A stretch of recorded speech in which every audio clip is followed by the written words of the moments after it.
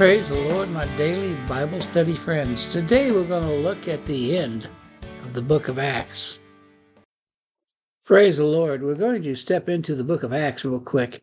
In order to do any kind of study on the book of Acts, it's really important that we also understand who wrote the book of Acts and to whom. Um, you may or may not already know that the book of Acts and the book of Luke were written by the beloved physician Luke. If you look in the gospel according to Luke, the first uh, the first chapter, it goes like this in the book of Luke. For as much as many have taken in hand to set forth in order a declaration of those things which are most assuredly believed among us, even as they were delivered unto us, from which which from the beginning were eyewitnesses and ministers of the word. It seemed good to me also, having had perfect understanding of all things, from the very first to write unto thee in order, most excellent Theophilus, that thou mightest know the certainty of those things wherein thou hast been instructed. One thing that uh, a doctor may have that most of us don't is an attention to detail. It's one of the reasons I could never be a doctor. I'm a headline person. Everybody who knows me well knows that about me. Just ask my beloved wife. Amen. But this Luke was not that way. He wanted to pay attention to things. One of the things I want us to pay attention to is what he said right here in the beginning. He repeated himself. In case you were not paying attention, let me show you what he said. In the first uh, chapter 1, verse 1 For as much as many have taken in hand to set forth in order a declaration. Amen. And then again, we go down to the third verse where it says, It seemed good to me also, having had perfect understanding of all things from the very first, to write unto thee in order. Amen. The thing I want to point out in this is if you want a chronological order of things, the book of Luke gives you the best chronological order of things, as far as I know. And he also mentioned it twice the fact that he mentions it twice says volumes about what he hoped to do. And remember, he also said, uh, It seemed good to me also, having had perfect understanding of all things from the very first, to write unto thee in order, most excellent Theophilus. Now, flip over to the book of Acts, the very first uh, verse, first chapter again. The former theses that I've written unto you, O Theophilus of all that Jesus began both to do and to teach until the day in which he was taken up. After that, he, through the Holy Ghost, had given commandments unto the apostles whom he had chosen. That begins the book of Acts. So Luke follows the beginning in order of the birth of Christ. He also follows in order the book of Acts as things progressed. So that is something I thought was very interesting to know. Also, both of these books are written to a gentleman that we know as Theophilus.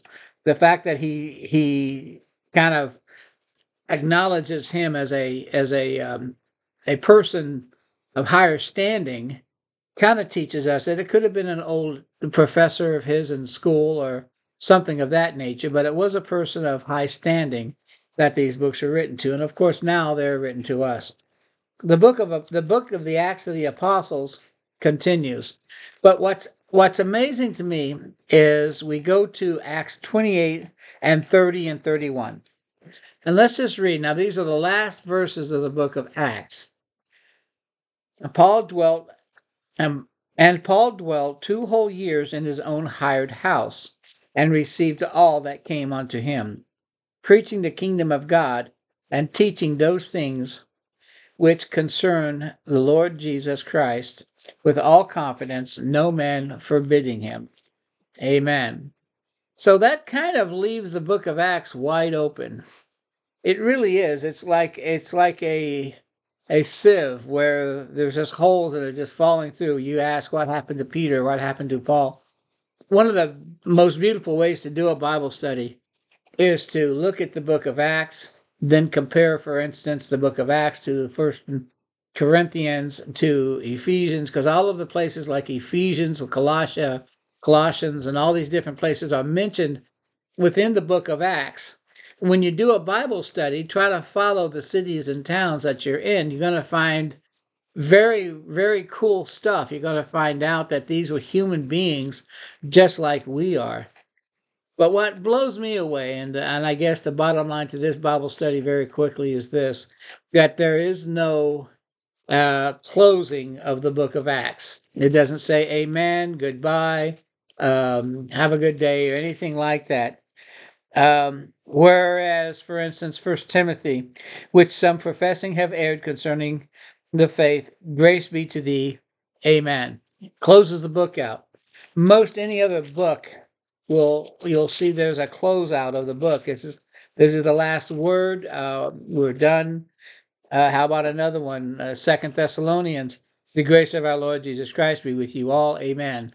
The point I want to make is, if you want to see the Book of Acts in in in real time, visit the church in Falls Avenue in Wabash, Indiana. We had three people get the Holy Ghost.